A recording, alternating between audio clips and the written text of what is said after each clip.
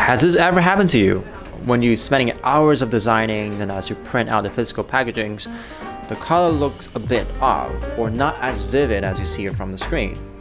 This is because whatever you see from the screen is under RGB mode, and the colors on the printed paper is CMYK. Today, we're going to tell you what are the differences and how to print out the desired colors without losing color accuracies. Let's go.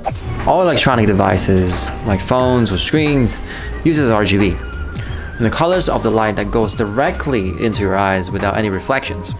CMYK on the other hand is a light that hits the surface of an object and then reflects into our eyes. Some colors will be absorbed by the surfaces, and for that being said, more colors can be seen in RGB mode than on CMYK. And it's inevitable that there will be some color that might look a little bit saturated once we print it out on the paper.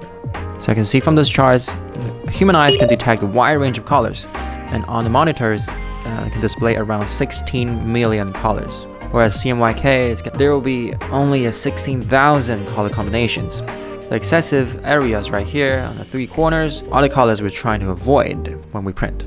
So when you design your artwork, make sure, make sure you are developing under the CMYK and don't simply convert it afterwards.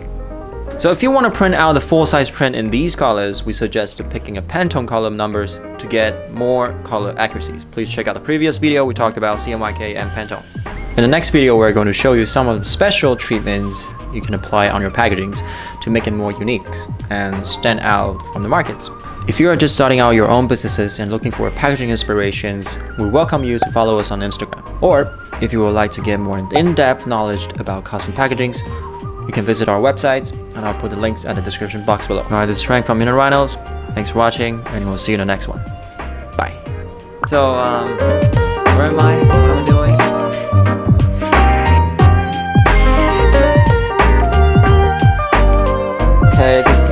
2003.